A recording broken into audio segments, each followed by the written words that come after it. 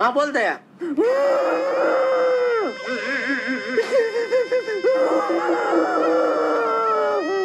अरे, पहले वो पीछे मिक्सर चालू है, बंद कर भाई, उसकी बहुत ज़ोर से आवाज़ आ रही है। अरे मिक्सर चालू नहीं